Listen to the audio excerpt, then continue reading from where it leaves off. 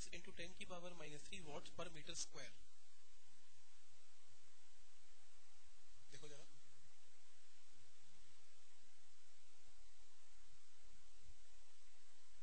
Assignment number one का question number two पढ़ना है।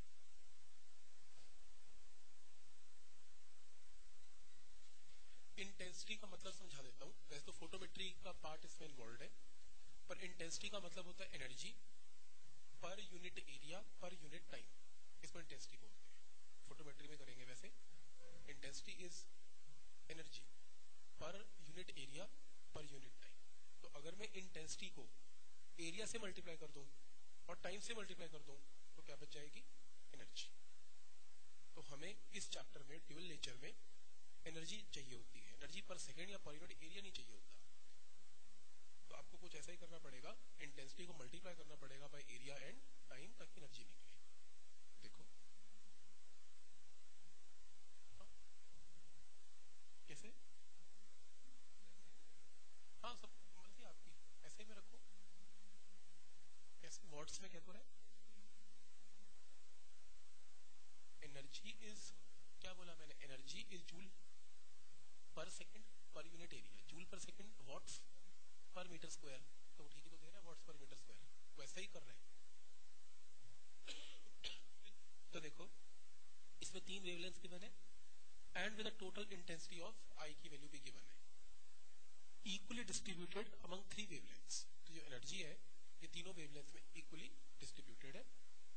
The beam falls normally on an area of area तो चाहिए था मुझे, क्योंकि यहाँ से क्या निकलेगी? Energy of a clean metallic surface of work function 2.3 electron volt तो ये भी गिवन है कि जो आपका वर्क फ़ंक्शन है उसकी वैल्यू गिवन है assume that there is no loss of light by reflection and that each energetically capable photon ejects one electron calculate number of photon photo electrons liberated in 2 second तो अगर ऐसी light area के ऊपर गिरती है तो energy गिर रही है एनर्जी गिर रही है ये तीन रेडिएशन गिर रहे हैं एक एरिया के ऊपर जब ये तीन की तीन रेडिएशन गिर रही हैं एक एरिया के ऊपर तो क्या होगा फ़ोटो इलेक्ट्रॉन्स एमिट होंगे। जब फ़ोटो इलेक्ट्रॉन्स एमिट होंगे, बताओ कितने एमिट हुए दो सेकंड में? इसमें ना, थोड़ी सी कंफ्यूजन क्रिएट की हुई है जान के। कैसे? उसने क्या किया? आपको एक वर्क फ़ंक्शन दिया और तीन रेडिएशन दी वर्क फ़ंक्शन की वैल्यू आपको मालूम है? वर्क फ़ंक्शन की वैल्यू कितनी है? हाँ 2.3 इलेक्ट्रॉन वोल्ट ये वर्क फ़ंक्शन है। उसने क्या किया? इस वर्क फ़ंक्शन से H C by lambda naught से लैमडा नॉट निकलवा लिया ठीक इसको बोलते हैं थ्रेशोल्ड वेवलेंथ अगर आपकी किसी रेडिएशन की वेवलेंथ थ्रेशोल्ड से ज़्यादा है तो फ़ोटो इलेक्ट्रॉन्स एमिट नहीं होते। ठीक? अगर आपकी अगर आपकी फ्रीक्वेंसी थ्रेशोल्ड फ्रीक्वेंसी से ज़्यादा है तो एमिशन होगा। लेकिन अगर वेवलेंथ ज़्यादा है तो एमिशन नहीं होगा। एमिशन कब होगा? जब your wavelength should be less than lambda naught अब जब आप लैम्डा नॉट निकालते हो लैम्डा नॉट की वैल्यू आ रही है five three nine seven nine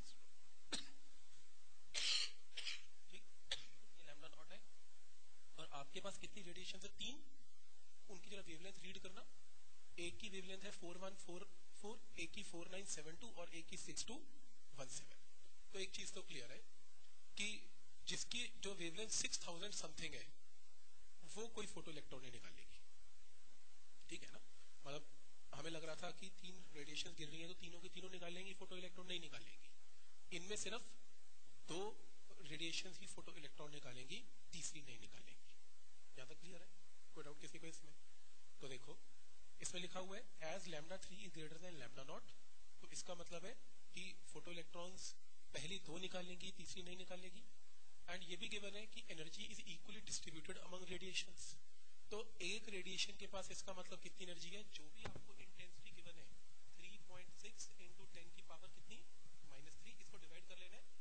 ठीक है सर तो आपके पास गिवन है 1.2 पॉइंट टू इंटू टेन की पावर माइनस थ्री ये आपके पास एक रेडिएशन की इंटेंसिटी है। क्योंकि तीन रेडिएशन गिर रही हैं।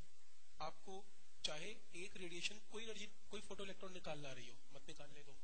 पर एनर्जी तो है ना उसके पास। तो आपको एक रेडिएशन को जो इंटेंसिटी मिलेगी, वो वन थर्ड मिलेगी। ठीक हो गया? तो एक रेडिएशन लैम्डा वन को भी लैम्डा टू को भी लैम्डा थ्री को भी कितनी एनर्जी मिलेगी? कितनी इंटेंसिटी मिलेगी? One point two into ten की पावर माइनस थ्री ठीक हो गया?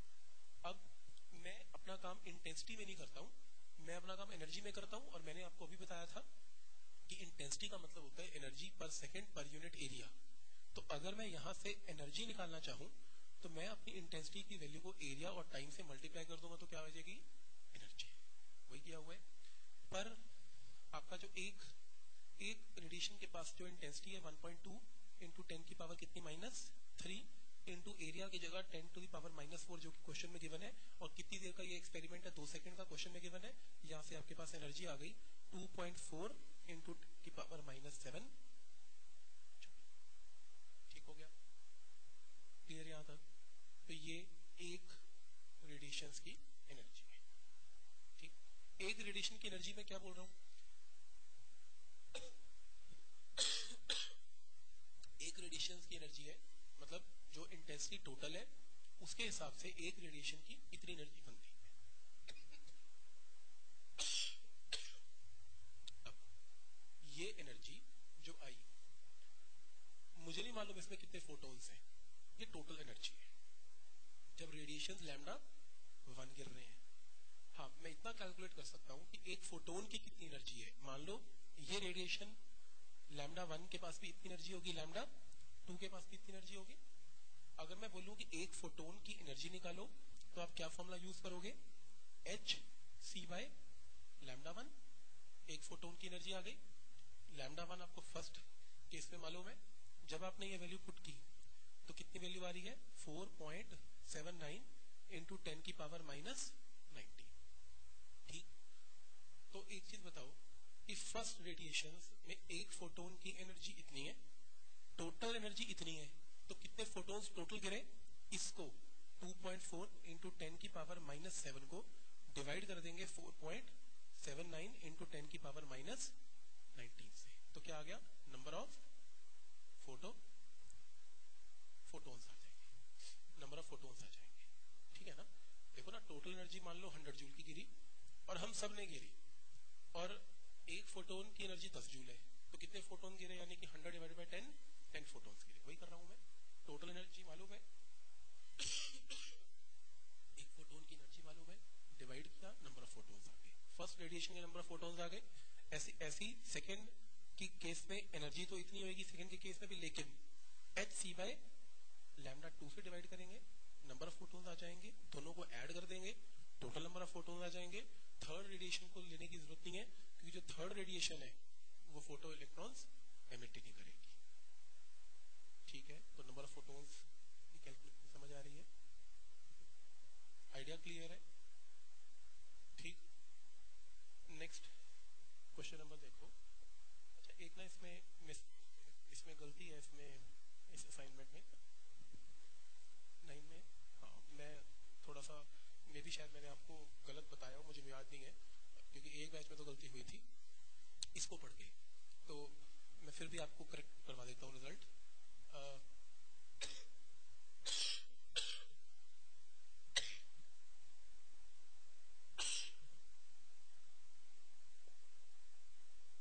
देखो अगर सपोज़ ये न्यूक्लियस है और बहुत सारे इलेक्ट्रॉन्स डिफरेंट डिफरेंट शेल्स में तो आपका जब ट्रांजिशन होती है किसी भी शेल से किसी भी दूसरे शेल में एनर्जी का डिफरेंस मैक्सिमम तब होता है जब आखिरी शेल और फ़र्स्ट शेल में जंप होता है ये सबको मालूम है एनर्जी का डिफरेंस मिनिमम तब होता है जब लास्ट से सेकंड लास्ट में आपके लिए क्वेश्चन नंबर नाइन में उल्टा लिखा हुआ है क्वेश्चन नंबर नाइन में ये लिखा हुआ है कि मैक्सिमम जो आपका मिनिमम जंप तब होता है जब लास्ट और सेकेंड लास्ट मिनिमम नहीं है एक्चुअली में वो सॉरी मैक्सिमम लिखा हुआ है वो मिनिमम होना चाहिए इन शॉर्ट छोड़ो उस क्वेश्चन को। आप ऐसे याद करो। अपना दिमाग लगा के कि मान लो कोई एनथ स्टेट है, जब एनथ से एन माइनस वनथ में आएँगे ना तो एनर्जी का डिफरेंस जो होगा वो मिनिमम होगा। और मैक्सिमम तब होगा? जब आखिरी और फ़र्स्ट में जंप होगा। बस ये याद रखना, कभी गलती नहीं होगी। इसमें इस असाइनमेंट में दो तीन क्वेश्चन है, जब आप रिवाइज करोगे पेपर से पहले तो इस स्टेप को हमेशा याद रखना। ठीक, वैसे आज मैं एक क्वेश्चन और करवाऊँगा इसके ऊपर, उसमें एप्लीकेशन है। है यहाँ तक तो वो मिनिमम मैक्सिमम की स्टेटमेंट गलत है उसमें बट ये याद रखना। नेक्स्ट पे आपने क्वेश्चन करना है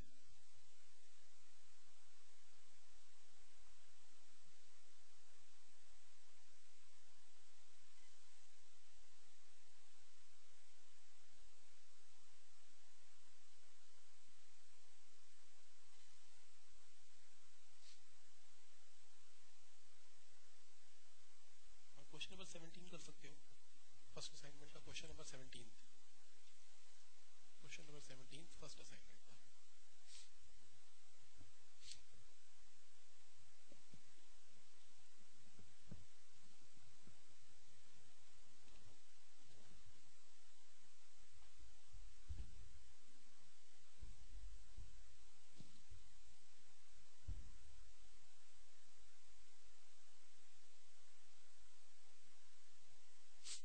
क्वेश्चन नंबर सेवनटीन है A light from a discharge tube containing hydrogen atoms falls on the surface of sodium. Kinetic energy of fastest electron emitted from sodium is given kinetic energy, half mv square. Work function is given h nu आ जाएगा। Photon की energy आ जाएगी आपके पास। Energy of photons causing photoelectric emission तो एक बार तो बड़ा सिंपल है इसका कि आपको क्वेश्चन में क्या गिवन है? एक तो इसमें वर्क फ़ंक्शन गिवन है। वर्क फ़ंक्शन की वैल्यू आपको क्वेश्चन में कितने गिवन है? 1.82 इलेक्ट्रॉन वोल्ट आपको half M V square given है। जो कि 0.73 इलेक्ट्रॉन वोल्ट है। मुझे पता है H nu is work function plus half M V square यहाँ से एच न्यू आ जाएगा। ठीक? ये पार्ट आता फ़ोटो जो फोटोन्स हैं, उनके पास कितनी एनर्जी है? एच न्यू पार्ट है। Quantum numbers of two levels involved in the emission of these photons तो आपको ये बताना है कि क्वांटम नंबर्स इसमें क्या होंगे ये ना हिट एंड ट्रायल है ये क्वेश्चन है किसी टाइम में एआई ट्रिपल में आया भी क्वेश्चन है मेरे को अच्छे से याद है। थोड़ा सा हिट एंड ट्रायल ऐसे है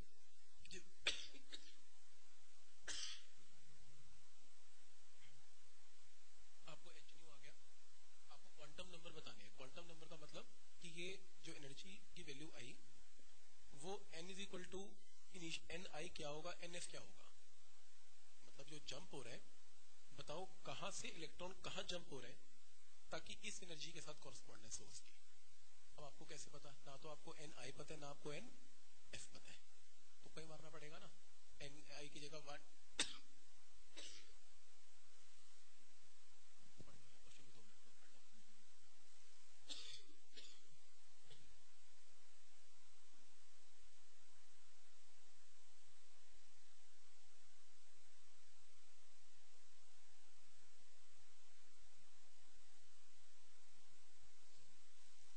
देखो इस h इंटू न्यू की जो करने पे आ रही है? H इंटू न्यू की वैल्यू सॉल्व करने पे कितनी आ रही है? 2.55 इलेक्ट्रॉन वोल्ट ठीक है ना? अब आपको क्या करना है? इस 2.55 के correspondingly minus thirteen point six N F square minus minus thirteen point six N I square ठीक है ना? ऐसे होता है एनर्जी का डिफरेंस ऐसे निकलता है हिट एंड ट्रायल करके दिखाया है कैसे अगर मैं लेमन सीरीज़ लूँ तो एन आई की वैल्यू मुझे क्या लेनी है इसमें? एन एफ़ की वैल्यू क्या लेनी है इसमें? वन फिर उसने एन आई की वैल्यू टू ली, फिर थ्री ली, फिर फोर ली, फिर फाइव ली। आंसर आया नहीं। आपका जो आंसर है, वो इतना आना चाहिए, वो नहीं आया। फिर कहता है, कोई बात नहीं। यानी कि ये एनर्जी जो आपकी लेमन सीरीज़ है, उसको कॉरस्पॉन्ड नहीं कर रही। फिर कहते हैं, कोई बात नहीं बाल्मर सीरीज़ ले लेते हैं। बाल्मर सीरीज़ में एन की जगह एन एफ़ की जगह क्या पुट कर दिया? टू फिर यहाँ पुट किया थ्री फोर फाइव तो आपकी एनर्जी की वैल्यू आ रही है एक N is equal to two और N is equal to four पे। ये। मतलब कि जब पालमर सीरीज़ के कॉरस्पॉन्डेंस आंसर आ रहा है कि जब इनिशियली इलेक्ट्रॉन चलेगा N is equal to four से, और फाइनली कहा गिरेगा N is equal to two पे। अब ये चांस की बात है। ये क्वेश्चन बहुत ही मतलब निकल जाए तो एक मिनट में निकल जाए। ना निकले तो टाइम कंज्यूम बहुत करें आता होगा। इतनी को अगर वहाँ ऑब्जेक्टिव में करना पड़ जाए टाइम तो लगे ऑप्शन देख लेते ऑप्शन देख के हो जाएगा बट अगर वैसे करना पड़ जाए तो है तो प्रॉब्लम सब्जेक्टिव में आ जाए जैसे आईआईटी वाले वन टू थ्री वो देते होते हैं ना आंसर उसमें प्रॉब्लम आ जाएगी बट चलो इन एनी केस क्वेश्चन किया तो जा सकते हैं थोड़ा सा ऐसा नहीं चलो कोई बात नहीं ऑब्जेक्टिव आए तो और भी अच्छा है तो बी आंसर आ गया change in angular momentum of electron ये तो हो जाएगा। एंगुलर मोमेंटम का फॉर्मूला क्या होता है? N H by two pi N H by two pi तो एक एन की जगह आपने टू लेना है, एक एन की जगह आपने फोर लेने हैं और एंगुलर मोमेंटम की वैल्यू को माइनस कर देना है। ये भी क्लियर है? और क्या है? D part recoil speed of emitting atom, assuming it to be at rest before transition. तो recoil speed of emitting atom, जो कि रेस्ट पे था before transition and ionisation energy of hydrogen is given 13.6 ठीक है? बिल्कुल एंड में पढ़ लो। से लिखा हुआ है कि जब एक फोटोन गिरेगा हाइड्रोजन की बात कर रहा है ना तो जब फोटोन गिरेगा initially the hydrogen atom having a mass से mh इज़ एट रेस्ट ठीक है? जब भी ऐसे क्वेश्चन में क्या लग सकता है? Law of conservation of linear momentum और तो कुछ लगता नहीं है। Recoil m1 v1 is m2 v2 और तो कुछ भी नहीं लगेगा इसमें। फोटोन गिरेगा एटम मूव करेगा, या जो भी इलेक्ट्रॉन मूव करेगा। तो एक आगे जाएगा, दूसरा पीछे आएगा। परफेक्टली इलास्टिक कोलिजन वाला कॉन्सेप्ट है।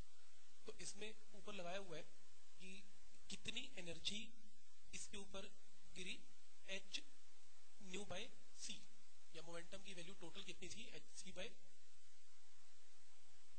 अच्छा। देखो, इसमें क्या कहा गया है? नहीं एच इंटू तो एच इंटू एनर्जी होती है एनर्जी अपॉन वी क्या होता है? नहीं एच मोमेंटम होना चाहिए। ठीक तो है। एच न्यू बाय सी ठीक तो है। एच बाय लैम्डा आ गया ना। एच सी बाय न्यू कर लो। न्यू को नीचे ले आओ ना। तो इसका मतलब एच बाय पी हो गया। एच बाय लैम्डा हो गया। एच बाय लैम्डा पी होता है। ठीक है। एक फोटोन है। फोटोन से हाइड्रोजन का जो एटम है वो मूव करता है, वो बोलता है। एटम मूव करता है, क्या मूव करता है? एमिटिंग एटम चलो एटम ले लेते हैं। एटम नहीं मूव करना चाहिए था। तभी तो मैं बोल रहा था एटम कैसे मूव कर रहा है? तो इन एनी केस चलो, इसने एटम ये लिया वैसे। इसमें मेरे ख्याल से ऐसा है कि नहीं, इसमें ना मुझे लग रहा है कि एटम में से कोई पार्ट बाहर मूव किया है। क्योंकि देखो ना कि फोटोन या तो नॉर्मली तब एटम में से तो क्या होता है कि एक्सप्लोजन होता, जैसे बॉम्ब है बॉम्ब का एक पीस आगे जाता है तो बॉम्ब का दूसरा पीस पीछे आता है। एक्सप्लोजन के केस में ही ऐसा केस होता है और तो कुछ भी नहीं होता। अगर दो पार्टिकल मूव कर रहे हैं तो नॉर्मली हम ऐसे बोलते हैं कि फोटोन का जो मोमेंटम है m1 v1 और जो भी पार्टिकल पड़ा हुआ है m2 v2 is equal to या m1 u1 plus m2 u2 is m1 v1 plus m2 v2 जब दो पार्टिकल्स कोलाइड करते हैं। इसमें ऐसा नहीं हो रहा। इसमें केस क्या है कि पूछा क्या है require speed of emitting atom assuming it to be at rest before the transition. मेरे को ऐसा लग रहा है, इसमें ऐसा है कि जब आपका ट्रांजिशन हो रहा है एनर्जी निकल रही है तो वो कहते हैं एज्यूम करो एनर्जी निकल रही है in the form of photons बस कोई एनर्जी निकल गई। तो एनर्जी निकल गई in the form of photon atom में से। एटम के अंदर इलेक्ट्रॉन गिर रहे हैं एक शेल से दूसरे शेल तक N is equal to four और टू के बीच में। जैसे ऐसा होता है, उसमें से एनर्जी निकली। एज्यूम करो वो एनर्जी निकल रही है in the form of photon तो जैसे वो एनर्जी बाहर निकली, वो फोटोन बाहर निकला एटम पीछे आ गया। तो बताओ, जो एटम पीछे आया, उसकी स्पीड कितनी होगी इससे इससे ज़्यादा और कोई मतलब निकल नहीं सकता है। इसका नहीं तो एटम मूव नहीं करेगा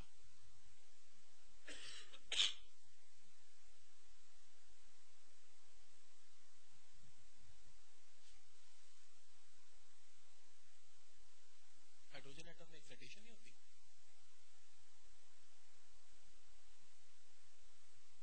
तो इलेक्ट्रॉन तो मूव करते होंगे न्यूक्लियस को टच ही नहीं करना मैं तो कुछ भी नहीं रादर मैं तो उनके इलेक्ट्रॉन भी नहीं निकाल रहा इलेक्ट्रॉन तो उनके पास ही है मैं तो इलेक्ट्रॉन की एनर्जी निकाल रहा हूँ इलेक्ट्रॉन एक्साइट हो गया होगा उसको नीचे गिरने दो इलेक्ट्रॉन आयनाइजेशन नहीं हो रहा इसमें कुछ भी बस एटम है एटम को तोड़ना तोड़ना कुछ नहीं एटम ऐसी है। एटम की मूवमेंट है। तो मैं ये कह रहा हूँ कि हाइड्रोजन के अंदर कुछ एनर्जी रिलीज़ हुई तो वो कितनी एनर्जी रिलीज़ हुई, उसका जो मोमेंटम होगा एच न्यू बाय सी उसका जो मोमेंटम होगा, जिसकी वजह से क्या होगा, जो आपका हाइड्रोजन एटम है, वो क्या करेगा, पीछे मूव करेगा। ठीक वैसे, जैसे एक एक सिस्टम है, जैसे एक बुलेट है और गन है। बुलेट आगे मूव करती है तो गन पीछे मूव कर वो ये सेम है सिस्टम एक सिस्टम का पार्ट है। बस ऐसे ही लगा लो इसमें कि एक पार्टिकल नीचे जा रहा है मीन फोटोन अगर बाहर निकल रहे हैं तो बाकी एटम बचा हुआ पीछे आ रहा है। इसकी कंजर्वेशन की। जो ऊपर लगाइए लगाइए अच्छा पहले एक चीज़ समझ लो कि जैसे एक अगर ये गन है और ये बुलेट है, ठीक, ऐसे पड़े हुए हैं। तो गन का मोमेंटम पहले ज़ीरो है बुलेट का मोमेंटम पहले ज़ीरो है। अगर बुलेट आगे मूव कर जाए एम वन यू वन के साथ तो गन को पीछे जाना पड़ेगा एम टू यू टू के साथ। तो हम क्या बोलते हैं? M one U one plus minus M two U two वो क्यों? माइनस इसलिए क्योंकि मोमेंटम ऑपोजिट है। तो M one V one is M two V two या M one U one is M two U two same है। इसमें बस बुलेट की जगह फोटोन बोल लो, जो फोटोन निकले एनर्जी की वजह से, और गन की जगह हाइड्रोजन एटम बोल लो same equation law of conservation of linear momentum के अकॉर्डिंग से सॉल्व किया है। नहीं तो हाँ एक बार तो बंदा सोचता ही है कि एटम कैसे मूव कर रहा है। इलेक्ट्रॉन की मूवमेंट हो सकती है एटम की नहीं हो सकती। तो ये थोड़ा सा इसी जंक्शन के साथ है कि फोटोन बाहर निकल गया। नेक्स्ट क्वेश्चन पढ़ना। Eighteen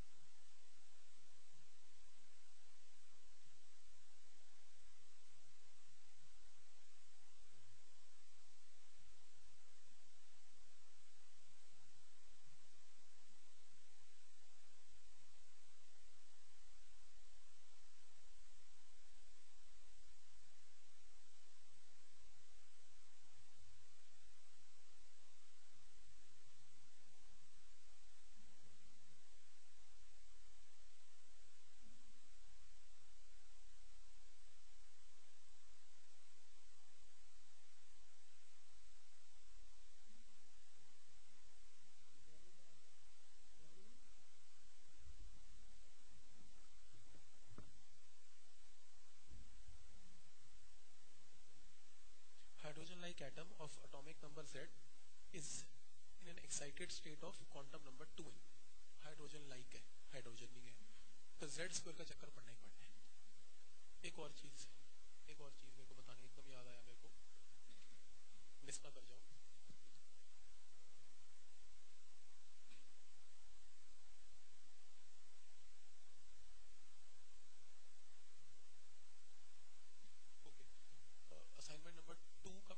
फॉर्मूलाज का क्वेश्चन देखना जरा पेज असाइनमेंट नंबर टू में असाइनमेंट नंबर टू में हाइड्रोजन लाइक एटम में आ जाओ फ़र्स्ट कॉलम में हाइड्रोजन लाइक एटम है ना लिखा हुआ देख लिया इसके अंदर जब हम रेडियस निकालते हैं हाइड्रोजन लाइक एटम का तो जेड स्क्वायर से मल्टीप्लाई नहीं करते वन बाय जेड करते हैं हर चीज़ को जेड स्क्वायर से मल्टीप्लाई नहीं करना रेडियस को वन बाय जेड करना है। नेक्स्ट आ जाओ स्पीड स्पीड को जेड से मल्टीप्लाई करना है। नेक्स्ट है एनर्जी एनर्जी को जेड स्क्वायर से मल्टीप्लाई करना है। याद रखना। ठीक है ना? मतलब गलती से Z square Z square Z square ना कर देना। जो ये फॉर्मूला याद रखना। अब आ जाओ नेक्स्ट क्वेश्चन नंबर सेवनटीन कौन सा? एटीन है। एटीन पे आ जाओ।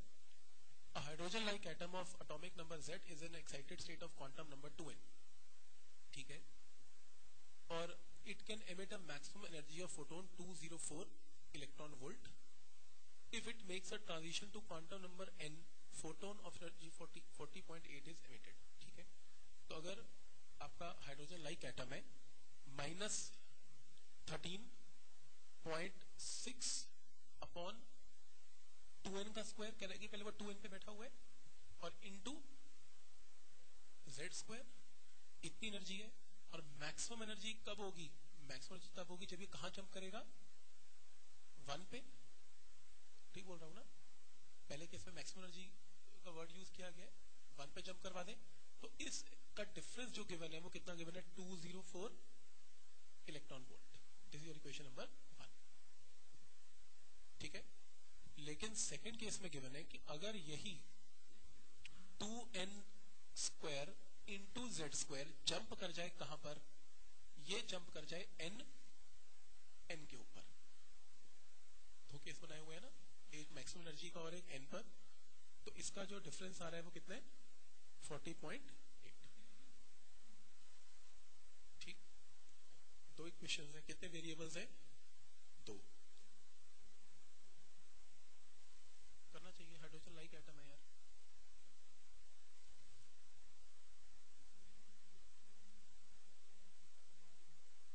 इसने पता क्यों नहीं यूज़ किया क्योंकि वो अपना एनर्जी E2 को E1 की फॉर्म में निकाल रहा है ना where E1 is in the form of Z square आप इसका सॉल्यूशन चेक करो। वो E2 निकाल रहा है। E2 वो Z और N की फॉर्म में निकाल रहा है ना? वो कैसे निकाल रहा है? E1 की फॉर्म में निकाल रहा है। E1 की वैल्यू तो बताइए क्या है? E1 की वैल्यू तो Z में निकालेगा।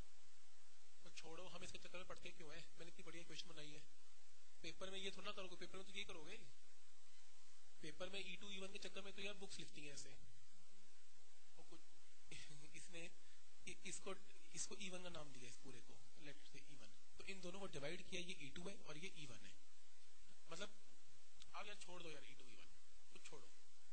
आपको मेरी इक्वेशन क्लियर है? इससे ज़्यादा आसान क्या बनेगा यार? उसने 2n से 1 कर दिया, उसने 2n से n कर दिया। ये क्लियर है? इनको आपने साइमल्टेनियसली सॉल्व करना है। आपके पास n आएगा, आपके पास z आएगा।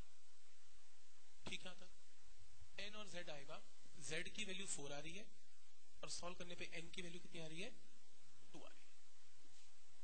ठीक है? आराम से जब घर में बैठोगे ना अपने आप समझ आएगा e1 e2 के। सिंप्लीफाई करने के लिए ना, अपने टर्म को ज़्यादा कॉम्प्लेक्स ना करने की वजह से वो e1 e2 की फॉर्म में लिखता है। ऑप्शन नहीं देखोगे अपनी।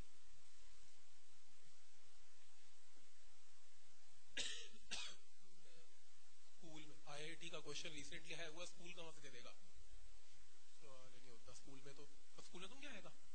असाइनमेंट के अंदर जो चार क्वेश्चन सॉल्व है ना तो देख लियो उससे ऊपर नहीं आता स्कूल हाफ़ लाइफ पीरियड निकाल दो। नंबर ऑफ़ आइटम बचा दो, कितने बच गए। इससे ऊपर तो भूल ही जाओ, नहीं आता। सवाल ही पैदा नहीं होता। मैं कहता हूँ ए ट्रिपली में इतना बड़ा क्वेश्चन नहीं आता, आप स्कूल की बात कर रहे हो। नहीं आते, इतने बड़े नहीं आते। मैं तो बता रहा हूँ प्रॉब्लम ए ट्रिपली में कुछ नहीं है लेवल की कोई प्रॉब्लम नहीं है। ए ट्रिपली और पीएमटी के पेपर बिल्कुल सही लेवल के बनते हैं, बहुत नॉर्मल लेवल होता है उनका। चार चार पाँच पाँच लाइनर के क्वेश्चन होते हैं, इससे ज़्यादा नहीं होते होते। प्रॉब्लम एक है सिलेबस इतना सिलेबस है इतना सिलेबस है। देखो ना पीसीएम और वो भी दो साल का। इतना सा अगर इधर से उधर से को, कोई अनइम्पोर्टेंट चीज़ भी डाल देगा ना वो ऐसी बस उसका वो वो बन जाएगा। मुश्किल लगना शुरू हो जाएगा उस टाइम रिटेन कैसे करोगे इतनी चीज़ें? ये प्रॉब्लम है। तो ऐसा कुछ घुराने की ज़रूरत नहीं है ऐसा कुछ नहीं आता। मतलब मैंने तो आज तक अपनी ज़िंदगी में ये नहीं सुना कि हम जी इसलिए सिलेक्ट नहीं हो पाए थे कैलकुलेशन बहुत बड़ी थी। ये कैलकुलेशन बहुत बड़ी थी। बच्चे ने ऐसा कभी नहीं कहा। तो ऐसा कुछ नहीं है। कैलकुलेशन नॉर्मल आएँगी, कोई टेंशन लेने की ज़रूरत नहीं है। नेक्स्ट है। आपको क्या निकालना है? ऑल्सो कैलकुलेट मिनिमम एनर्जी अभी बताया था। एक चीज़ बताओ। कहाँ से चले थे? टू से। मिनिमम एनर्जी कब होती है? जब टू से जंप कहाँ पर होती है? टू माइनस वन अब समझ आ गया मैं शुरू में बता रहा था जो। निकाल लोगे एनर्जी का डिफरेंस एनर्जी का डिफरेंस निकल जाएगा। Minus thirteen point six two N का स्क्वायर इंटू जेड स्क्वायर को माइनस कर देना minus thirteen point six upon two N minus one का इसे सॉल्व कर लेना है जो भी आएगा। ठीक है ना? इसका आंसर आ जाएगा। और क्या निकाल लें? ग्राउंड बस। ठीक? Okay next assignment number two का formula number fifteen assignment number two का फॉर्मूला नंबर फिफ्टीन ये बिल्कुल फालतू फालतू चीज़ें हैं। बहुत बहुत बहुत ही माड़ी किस्मत होगी तो शायद आ जाए। ठीक, बहुत ही खराब किस्मत वैसे अभी तक आया नहीं है बट आपकी बुक्स लिखती है, आपकी बुक्स में गिवन है तो मैं आपको करवा रहा हूँ, ताकि आप लोग मेरे पास बुक्स ना लेके आ जाओ कि हमें करवाया नहीं। आपकी बुक्स ऐसी लिखती हैं। फिफ्टीन पॉइंट है when transition from shell N I to shell N F takes place of X rays emitted from target of atomic number Z is given by तो इसमें क्या कह रहे हैं कि एक्स रेज की ना, कोई बुक्स में एक्स रेज को ज़्यादा इंपॉर्टेंस दी गई है एक्स रेज कैसे निकलती है? एक्स जो निकलती है, उसकी फ्रीक्वेंसी निकालने का फॉर्मूला गिवन है R C Z minus B one by N F square minus one by N I square और बी का मतलब है स्क्रीनिंग कॉन्स्टेंट इसकी वैल्यू मेरे को नहीं मालूम, इसमें गिवन नहीं थी बट आपको चेक करनी पड़ेगी स्क्रीनिंग कॉन्स्टेंट क्या है. मेरे ख्याल से ये एक्सपेरिमेंट टू एक्सपेरिमेंट डिपेंड करता है, और आपको स्क्रीनिंग कॉन्स्टेंट की वैल्यू गिवन होगी जब भी कोई क्वेश्चन आएगा this is not a universal constant अगर यूनिवर्सल कॉन्स्टेंट होता तो बी की वैल्यू इसमें पर चलो इन एनी केस आप फॉर्मूला एक बार देख लो। नेक्स्ट है important tips and formula point number one है due to emission of alpha particle mass number decrease ये तो हमें किया हुआ है। अल्फ़ा पार्टिकल बीटा पार्टिकल जब निकलता है तो मास नंबर टॉमिक कैसे चेंज होते हैं, हमने किया हुआ है। पॉइंट नंबर टू है on passing through an absorbing material intensity of gamma radiations अब देखो, ये गामा रेडिएशन भी निकालेगा।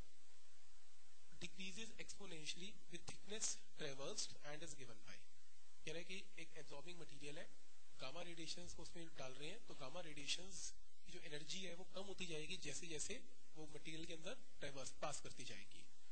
तो उसकी जो इंटेंसिटी है वो कितनी होगी?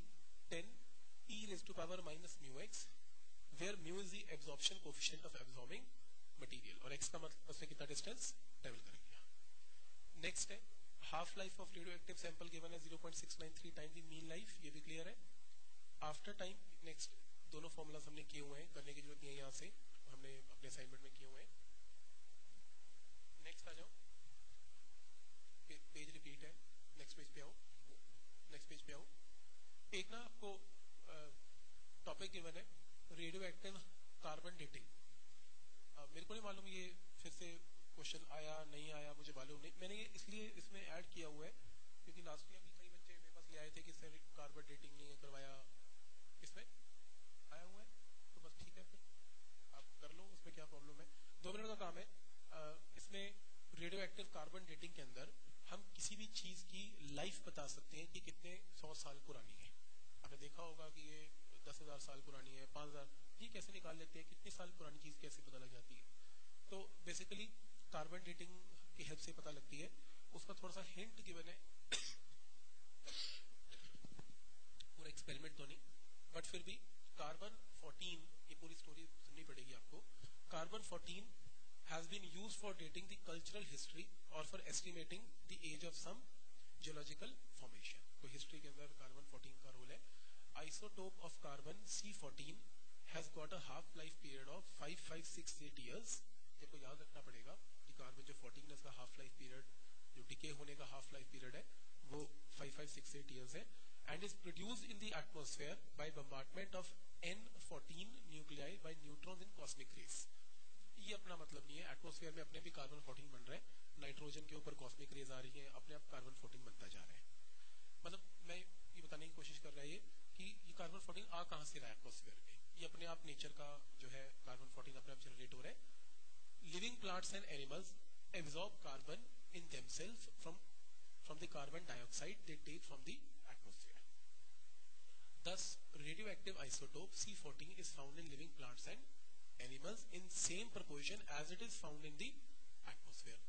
तो इसका मतलब कि लिविंग प्लांट्स और एनिमल्स अगर इसे एब्जॉर्ब कर रहे हैं तो हम वहीं से उसकी एज निकालेंगे कार्बन 14 कार्बन के कंटेंट से।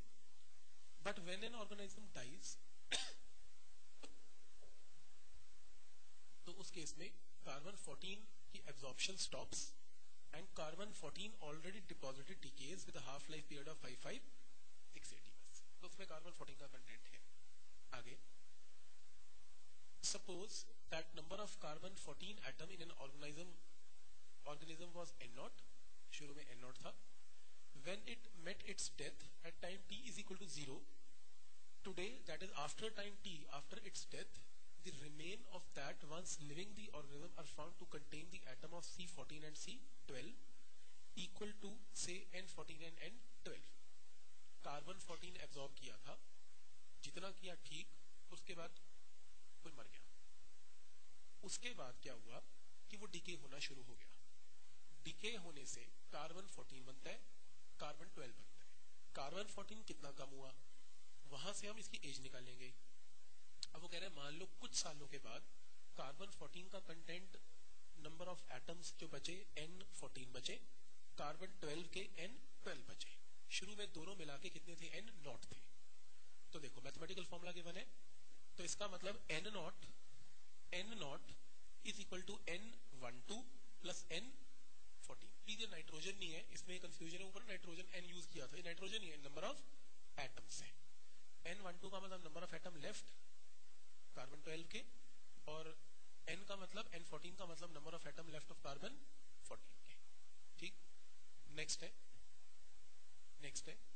टोटल नंबर एन नॉट थे इक्वेशन 3.19 को देखना। इक्वेशन नंबर 3.19 के accordingly N not is N one two plus N one four अब इक्वेशन नंबर 3.20 को देखो। एन वन फोर का मतलब है N not E raise to power minus lambda T means मैं एन वन टू को और एन वन फोर को ऐसे लिख सकता हूँ। एन वन टू का मतलब N not E raise to power minus lambda T और एन वन फोर का मतलब E not N not E raise to power minus lambda T मतलब इसको इकट्ठा करके दिखाया है। इधर देखो। जो ये इक्वेशन है इक्वेशन नंबर 3.19 विच सेज एक तो ये इक्वेशन होगी। एक इक्वेशन हो गई एक ये इक्वेशन हो गई N one four N not total था E raise to power minus lambda T lambda T and where lambda constant of carbon 14 nuclei. अब 3.19 और 3.20 इक्वेशन को उसने सॉल्व किया। कैसे? N one two E raise to power minus lambda T N one four E raise power minus lambda T one two okay ठीक है। इनको दोनों इक्वेशंस को यहाँ से n नॉट की वैल्यू को n one four E power minus lambda T n not आ गया। इसको यहाँ पुट तो आपके पास इक्वेशन नंबर क्या बन गई? नेक्स्ट इक्वेशन बन गई?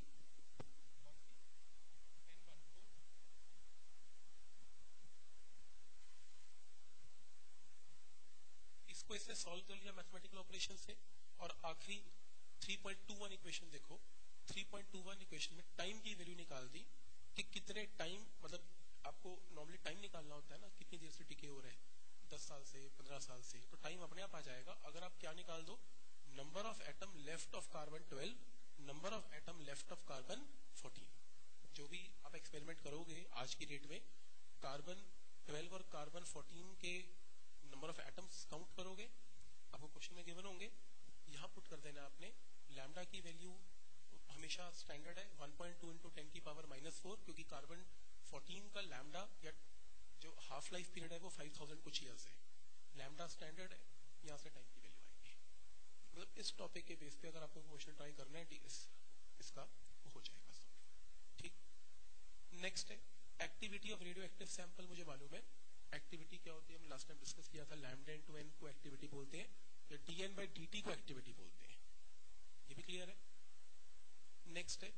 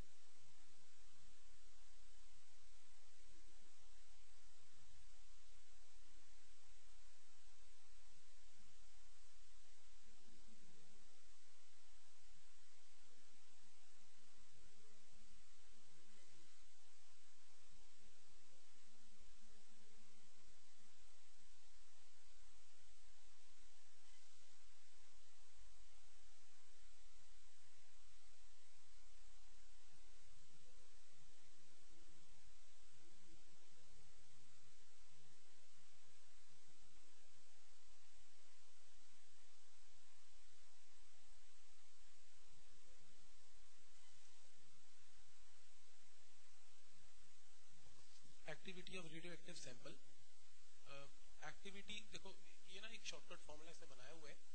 याद करना है कर लो नहीं तो एक्टिविटी का क्वेश्चन वैसे भी सॉल्व हो ही जाएगा। जैसे नंबर ऑफ़ जो नंबर ऑफ़ एटम लेफ़्ट होते हैं वो क्या होते हैं? N not E raise to power minus lambda T जो एक्टिविटी है आर याद है एक्टिविटी आर होती थी? आर का फॉर्मूला क्या होता था? लैम्डा एन या T N by T T तो R is R not E raise to power minus lambda T अगर इन केस अगर आपको टाइट फॉर्मूला यूज़ करना एक्टिविटी का तो activity R is R not E to power minus lambda T use कर सकते हैं। नहीं करना तो कोई बात नहीं। लैम्डा एन वाला फॉर्मूला याद रखना, अपने आप एक्टिविटी का न्यूमेरिकल सॉल्व किया जैसे मैं काउंट मीटर का क्वेश्चन सॉल्व किया था ना कि कितने डिसइंटीग्रेशन हो रहे हैं एक्टिविटी से तो वो हो जाएगा। कोई प्रॉब्लम नहीं है इसमें। वैसे इसका प्रूफ इसमें केवल है जो किया हुआ है इसमें सॉल्व बाकी इसमें कुछ यूनिट कन्वर्जन है, खुद पढ़ लेना। है, वो Q value of a nuclear reaction है। क्यू वैल्यू आपको ये बताती है कि किसी भी रिएक्शन में एनर्जी रिलीज़ होगी या energy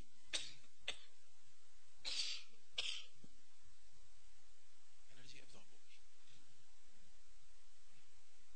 Q value of nuclear reaction में in nuclear reaction sum of masses of target nucleus x and bombarding particle p may be greater or less than the sum of masses of product nuclei and the outgoing particle o.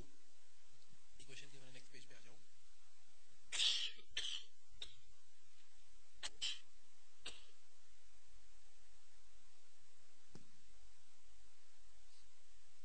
देखो, एक ना equation given है x plus P is equal to Y plus O plus Q Q कोई value है। अब एक आपके reactants है।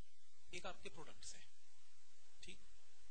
So if the mass of product nucleus ये इंपॉर्टेंट मार्क कर लेना जो नेक्स्ट पैराग्राफ है if the mass of product nucleus and outgoing particle is less than the mass of target nucleus and bombarding particle Q value of a nuclear reaction will be positive कह रहे कि इसमें अगर product का जो मास है, वो कम आ गया, किससे? रिएक्टेंट के मास से। तो क्यू को पॉजिटिव होना पड़ेगा इक्वेशन को बैलेंस करने के लिए। कोई चीज़ कम हो रही है, उसको क्यू में ऐड करेंगे क्यू कुछ प्लस होगा, तब दोनों चीज़ें बैलेंस होंगी। ठीक? तो उस केस में आपकी जो क्यू वैल्यू आई है Q value will be positive such reaction is called exoergic reaction क्या होता है यही होता है स्पेलिंग ठीक है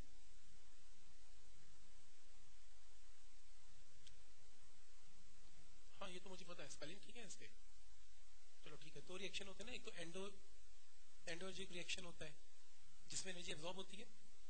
ठीक है ठीक है स्पेलिंग ठीक है ना?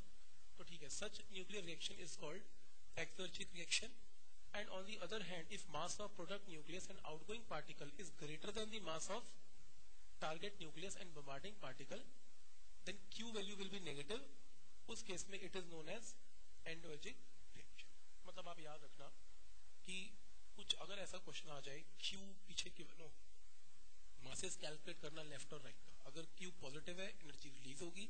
नेगेटिव है एनर्जी एब्सॉर्ब होगी। बस आपको यही बताना होता है, किसमें एनर्जी एब्जॉर्ब होगी, किसमें energy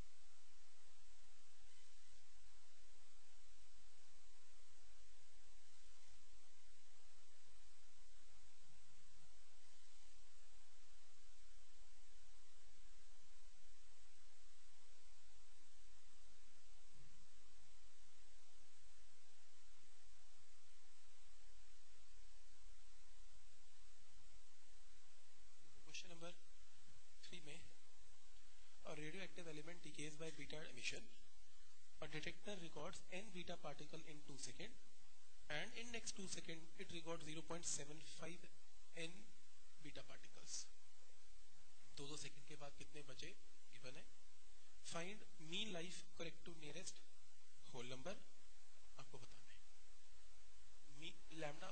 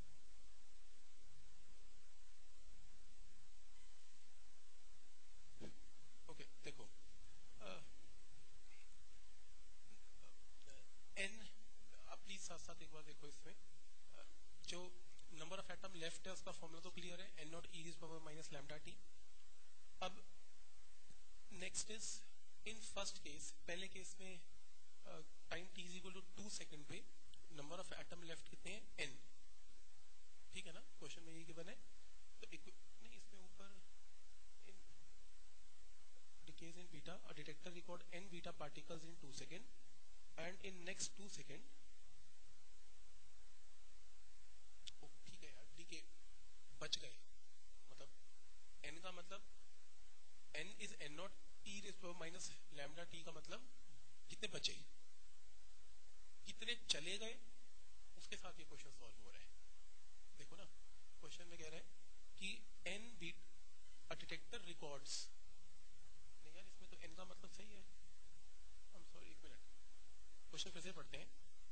radioactive element decays by beta emission. A detector records n beta particles in 2 seconds and in next 2 seconds it records 0.75 beta particle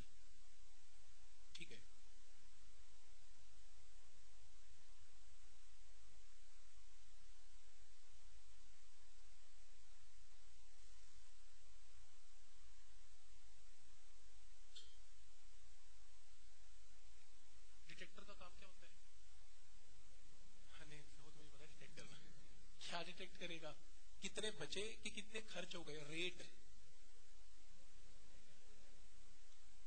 rate of disintegration कितने खर्च हो रहे हैं?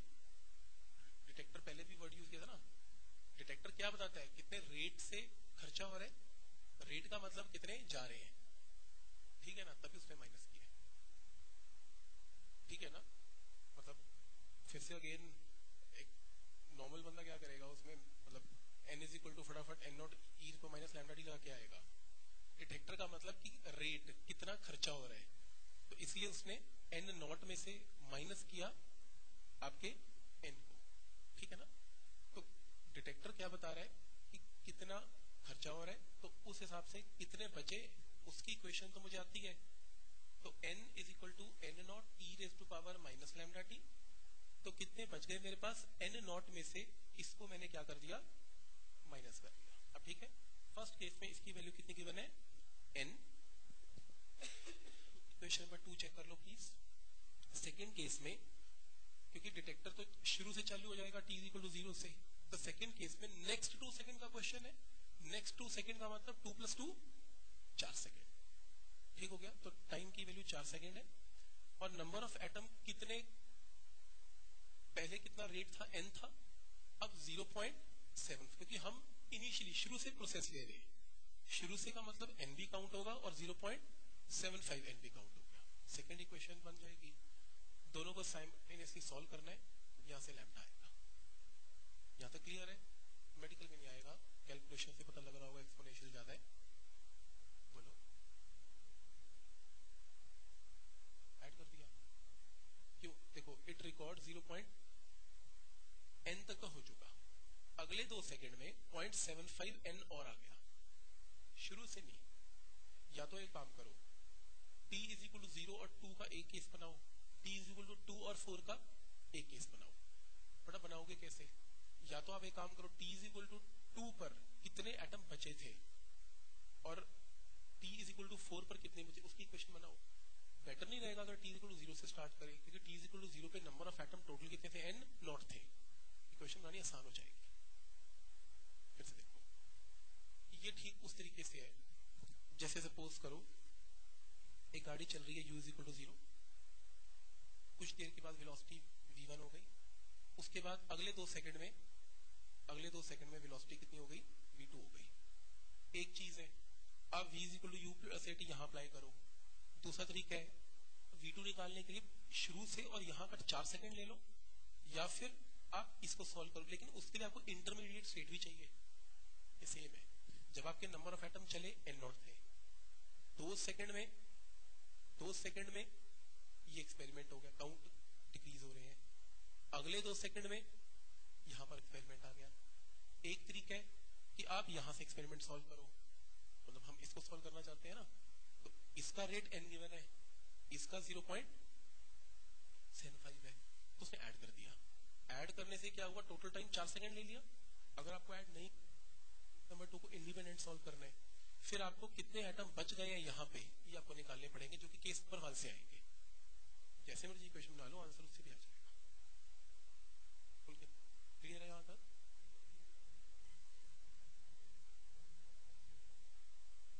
एन इज़ इक्वल टू हाँ number of item बच गए बच गए खर्च हो गए खर्च हो गए डिटेक्टर बताता है कि खर्चा कितना हो रहा है ठीक है ना गिवन क्या एन खर्चा है खर्चा डिटेक्टर तो जो बता रहा है वो तो खर्चा है ना तो तभी तो वो एन में से एन नॉट में से एन माइनस करके बता रहा है एन ठीक है ना यहाँ तक आइडिया क्लियर है यहाँ तक एक और बड़ा फ़ेमस क्वेश्चन है इसका ऑब्जेक्टिव बुक्स में मिलेगा आपको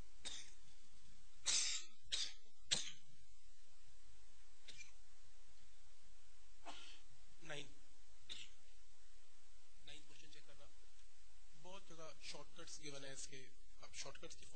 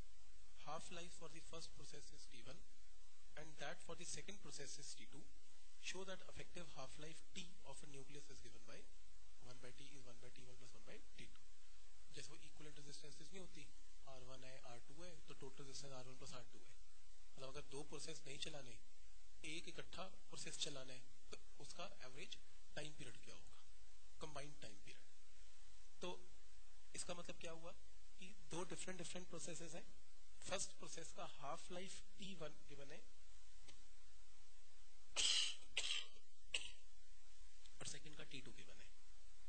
पहले तो उसने क्या किया? कंबाइंड बनाने के लिए रेट लिया। रेट कितना? फ़र्स्ट प्रोसेस के लिए T N by T T is equal to lambda one N means कि let N is total number of atom of radioactive sample present initially तो ठीक है। If dn1 by dt and dn2 by dt are decay rates by the first and second process respectively तो equation बनाई, दोनों को add किया जब add किया तो इनका dn1 D T plus dn2 by dt इसकी जगह क्या वैल्यू आ रही है? Lambda one plus lambda two N और effective lambda is effective decay constant means lambda 1 plus lambda 2 की जगह लैम्डा रिप्लेस कर दिया। दोनों लैम्डा का रिलेशन निकाल लिया। Lambda is equal to lambda 1 plus lambda 2 और लैम्डा और टाइम पीरियड का रिलेशन तो ऑलरेडी हमारे पास है। कहने का मतलब कि इसमें जो वैल्यू आई थी वो lambda 1 plus lambda into N आ गई। और अगर मैं एक प्रोसेस चलाता ओनली वन प्रोसेस एक प्रोसेस में इसकी जगह कंबाइंड लैम्डा जाता लैम्डा इनटू एन क्योंकि एक प्रोसेस के लिए लेट से dn by dt numerically is equal to क्या हो जाता? लैम्डा n इसको इससे कंपेयर कर रहा हूँ तो lambda is equal to lambda one plus lambda two lambda की जगह तो अगर lambda is lambda one plus lambda two divide कर दो 0.693 से तो आपके पास क्या आ गया? One upon capital T is one upon capital T one plus one upon capital T two इसको शॉर्टकट याद कर लो, आपकी बुक्स में शॉर्टकट लगाया हुआ है इसमें कि अगर एक का half life period two years है, दूसरे का थ्री ईयर है तो बताओ total combined half life period क्या होगा? अगर दोनों को इकट्ठा लेके चले तो one by T is one by two plus one by three वहाँ से आंसर निकालना। बाकी इसमें क्वेश्चन तो और भी हैं। आप एक काम कर रहा है इसको बाकी जो क्वेश्चन बचे अप टू क्वेश्चन फोर्टीन तक। आप इसको खुद ट्राई करना, क्योंकि असाइनमेंट अपने साथ ही रखना कि जैसे जैसे सेमी भी चलता जाएगा, मैं ये साथ में कंटिन्यू रखूँगा। अभी सेमी का मैं टॉपिक स्टार्ट करता हूँ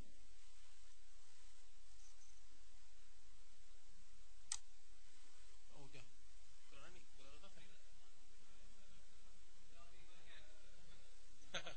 ये तो यार मेरी पुरानी आदत है दिवाली तो है यार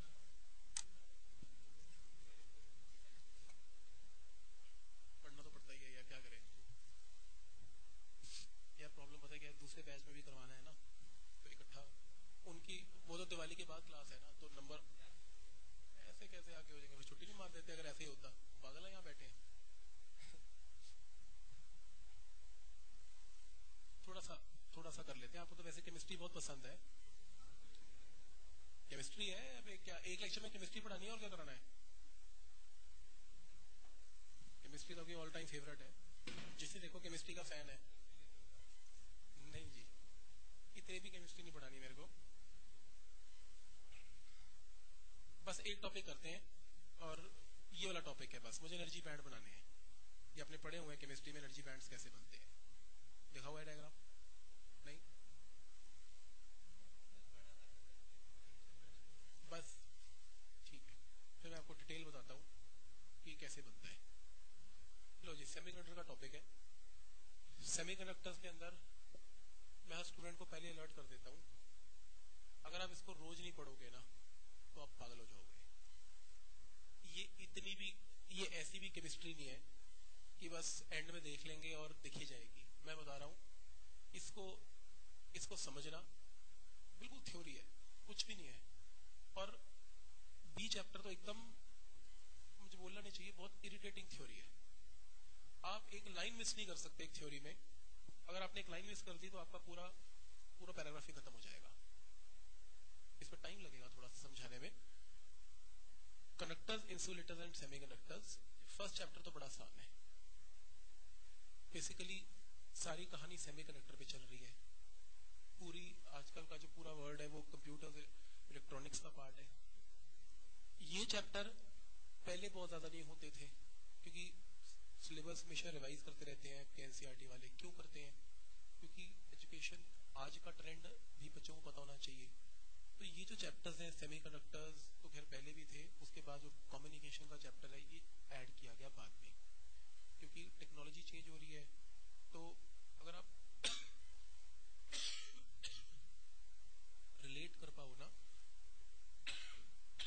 तो कुछ ऐसा कॉन्सेप्ट है कि पहले साइंस है फिर इंजीनियरिंग है। ठीक? इंजीनियरिंग तो बाद में आई, पहले साइंस से ओरिजिन है इसका। अब मैं थोड़ा सा एग्जांपल देता हूँ। जैसे थर्मोडायनेमिक्स पढ़ रहे हो प्लस वन का। तो thermodynamics is a part of mechanical engineering mechanical engineers thermodynamics को बहुत डिटेल में स्टडी करते हैं और इंजन डिज़ाइन करते हैं। ठीक? जो आपका जो एसी आप पढ़ रहे हो एसी जिसमें ट्रांसफॉर्मर और ये सब कुछ है। इलेक्ट्रिकल इंजीनियरिंग में के अंदर ट्रांसफॉर्मर बिजली का जितना भी सारा काम है, वो सब इलेक्ट्रिकल इंजीनियरिंग वाले यूज़ करते हैं। इलेक्ट्रिसिटी करंट जा रहा है voltmeter ammeter electronics वाले ज़्यादा यूज़ करते हैं इलेक्ट्रॉनिक्स इलेक्ट्रॉनिक्स रेजिस्टेंसेस इलेक्ट्रॉनिक्स का पार्ट है। अब किसी बिजली वाले को कहो कि यार रेजिस्टेंस ठीक कर दे, उसको कहेगा, मेरे को नहीं आती ठीक करनी। पंखा ठीक कर देगा, आपकी वाइंडिंग्स कर देगा ट्रांसफॉर्मर की। लेकिन सोल्डरिंग वाला काम नहीं करेगा। और जो सोल्डरिंग वाला काम करेगा टीवी ठीक करेगा, वो आपका ट्रांसफॉर्मर ठीक नहीं करेगा। इलेक्ट्रॉनिक्स एंड इलेक्ट्रिकल दो अलग अलग चीज़ें होंगी। ठीक हो गया? तो ये सब बेसिकली कहाँ से आ रहा है? ये सब इंजीनियरिंग यहीं से निकल के आई हुई है। अब बात करते हैं उस इंजीनियरिंग की, जो कि नॉर्मली लोग प्रेफर करते हैं अगर काउंसलिंग में जाए कि ये दो ब्रांचें मिल जाए कंप्यूटर्स एंड इलेक्ट्रॉनिक्स ठीक अब आपको ये ओरिजिन बताएगा कंप्यूटर इलेक्ट्रॉनिक्स कहाँ से स्टार्ट हुआ था? ओरिजिन मतलब पहला दिन जहाँ से यह कहानी स्टार्ट हुई है। इसको करते हुए हम लॉजिक गेट्स पढ़ेंगे। गेट्स इलेक्ट्रॉनिक्स और कंप्यूटर्स दोनों का पार्ट है। वो दोनों चीज़ें हम करेंगे इसमें। आपको आइडिया होगा कि कंप्यूटर काम कैसे कर रहा है। और फिर लॉजिक गेट्स बेसिकली जो पार्ट है वो कंप्यूटर्स का पार्ट है और इलेक्ट्रॉनिक्स का भी है नो डाउट दोनों में बराबर है। और जो सेमीकंडक्टर जो हम पढ़ेंगे डिवाइसेस सेमीकंडक्टर डिवाइसेस में हम स्टडी करेंगे एम्पलीफायर कैसे काम करता है, ये जो मशीन पड़ी हुई है, मेरे साउंड को एम्पलीफाई कर रहा है, ये इलेक्ट्रॉनिक्स का काम है। तो इलेक्ट्रॉनिक्स इंजीनियरिंग का जो थोड़ा सा कॉन्सेप्ट है, आपको चैप्टर ये बताएगा। और नॉर्मली इलेक्ट्रॉनिक्स की तरफ़ ज़्यादा है ये चैप्टर ठीक? बट आपने इसमें ये देख के ये नहीं सोच लेना कि मैं ये ब्रांच ले लूँगा। तो इलेक्ट्रॉनिक्स ऐसा नहीं है मतलब मैं समझ सकता हूँ कि वो जो चैप्टर्स है वो काफ़ी आसान है। ये चैप्टर्स थोड़े से उनके कंपैरेटिवली थोड़े से मुश्किल है। मुश्किल नहीं एक्चुअली मैं बताता हूँ क्या चक्कर है। पूरे तीन चार साल का फ्लेवर इलेक्ट्रॉनिक्स का सिर्फ़ दो चैप्टर में डाला हुआ है। कभी कभी ऐसा फील करोगे एकदम यार ये कहानी एकदम ऊपर कैसे हो? ये एकदम नया कॉन्सेप्ट कहाँ से आ गया? फिर मैं आपको कहूँगा कि नहीं यार इलेक्ट्रॉनिक्स इंजीनियरिंग में ऐसा होता है। तो वो उसका ना थोड़ा थोड़ा पार्ट बीच में बिना प्रूफ के आपको बताता रहेगा। तो वहाँ स्टूडेंट्स को प्रॉब्लम आती है जहाँ आपको याद करना पड़ता है कि ऐसा भी कुछ होता होगा। मतलब वहाँ इरिटेशन होती है ना, क्योंकि सेटिस्फेक्शन नहीं हो पाती इसलिए पर ये चैप्टर ऐसे हैं, मैं इस तरीके से ही करवाऊँगा जिससे आपको ज़्यादा प्रॉब्लम ना आए। बट जहाँ जहाँ प्रॉब्लम आएगी, मैं बता दूँगा कि ये उस इंजीनियरिंग का पार्ट है। अभी सेमीकंडक्टर्स के अंदर क्या करेंगे? कंडक्टर्स इंसुलेटर्स एंड सेमीकंडक्टर्स इसको बिल्कुल हल्का सा देखेंगे category of solids crystalline solid, amorphous solid, crystalline solid are those solid which have a definite external geometric form, crystalline solid. और नेक्स्ट है, amorphous solid, which do not have definite external geometrical form. इससे ज़्यादा करने की कोई ज़रूरत नहीं है। लैटिस क्या होता है, सबको मालूम है। यूनिट सेल क्या होता है, ये भी मालूम है। क्रिस्टल्स देखने की ज़रूरत नहीं है। एनर्जी बैंड से स्टार्ट करेंगे। छोड़ दो उसे। बहुत कुछ है फिजिक्स में आने के लिए। यहाँ तक तो वो पहुँचना ही नहीं है। कुछ पेपर डालने वाला। यहाँ से स्टार्ट करते हैं। एनर्जी बैंड क्या होता है? मेरे को सिर्फ़ एक काम करना है। एनर्जी बैंड ऑफ़ सॉलिड्स बनाना है। इसको बैंड थ्योरी ऑफ़ सॉलिड बोलते हैं। एनर्जी बैंड के अंदर सबसे पहले मैं यहाँ पर हर सॉलिड का एनर्जी बैंड बना सकता हूँ। जितने भी आपके पास कंडक्टर्स हैं इंसुलेटर है, सबका एनर्जी बैंड बन सकता है। एनर्जी बैंड का मतलब होता है कि उसके एटम के अंदर इलेक्ट्रॉन्स हैं। इलेक्ट्रॉन्स की अलग अलग एनर्जीज हैं। एनर्जीज हैं। तो कितनी एनर्जी है हर इलेक्ट्रॉन के शेल में? N is equal to one में टू में थ्री में? अगर मैं डायग्राम से उसको बनाऊँ तो मेरे एनर्जी लेवल डायग्राम से ठीक, मुझे एनर्जी लेवल डायग्राम बनाने हैं। पर मैं दुनिया में जितने कंडक्टर इंसुलेटर्स हैं, क्या मैं सबका एनर्जी लेवल बनाता रहूँ? इतना कौन इतना कौन करेगा? तो मान लो, बनाने वाले ने जितने भी आपके पास एटम्स थे, सबका बनाया। लेकिन हम यहाँ पर सिर्फ़ एक का सीखेंगे और वो है सेमीकंडक्टर और वो भी सिलिकॉन तो सिलिकॉन के केस में मैं एनर्जी लेवल डिस्कस करना चाहता हूँ। सिलिकॉन की इलेक्ट्रॉनिक कॉन्फ़िगरेशन है one S two two S two two P six three S two three P two chemistry है, लिख दिया मैंने। अब इसके अंदर एनर्जी लेवल के अंदर, जो वन एस टू है N is equal to one में एस और पी का कॉन्सेप्ट सबको लवेश आगे देखो। मान लो मान लो, मैं न्यूक्लियस हूँ ये N is equal to one के इलेक्ट्रॉन्स हैं। N is equal to one में एस के अंदर सिर्फ़ दो ही सीटें होती हैं, दोनों की दोनों फुल हैं। ऐसी जब आपका टू एस टू है एस के अंदर दो सीटें दोनों फुल हैं। पी के अंदर छह सीटें छह फुल हैं। एस के अंदर दो सीटें हैं, वो भी फुल है। और थ्री पी टू सीटें, छह फुल सिर्फ़ दो चार खाली है ये चीज़ क्लियर है अब अगर मैं इस इलेक्ट्रॉन को बुला के पूछूँ कि तेरी एनर्जी कितनी है, ये बोलता है कि सर मैं तो न्यूक्लियस के पास बैठा हूँ, मेरी एनर्जी सबसे कम है। तो मेरा मेरा जो एनर्जी लेवल डायग्राम है, मेरी एनर्जी को आप कम रखना ये नहीं कम। तो ये दो इलेक्ट्रॉन्स की एनर्जी मान लो ये टू जूल है, जो भी लगानी है लगा लो फिक्स ठीक हो गया? फिर मैंने इनसे पूछा टू एस टू से, ये बोलते हैं कि सर हमारी एनर्जी वन एस से तो ज़्यादा ही है, क्योंकि हमारा एनर्जी टू है ना। थोड़े अपर कैटेगरी में आते हैं तो हमारी जो एनर्जी की वैल्यू है, वो इनसे तो ऊपर है। हालाँकि हम सब है इलेक्ट्रॉन्स ही, लेकिन हम थोड़े अपने आप को ज़्यादा एनर्जी लेवल के साथ लेते हैं तो मेरी लाइन थोड़ी ऊपर खींच दो, ऊपर खींच दी। और हाँ एक और चीज़ जो डायग्राम बना रहा हूँ मैं प्लीज़ इसको मत देखना, ये नहीं समझ आएगा।